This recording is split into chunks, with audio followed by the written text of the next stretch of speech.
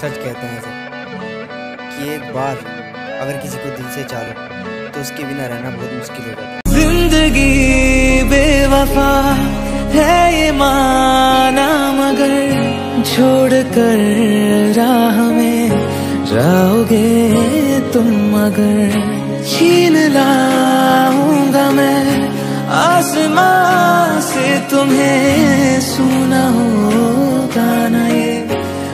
de know.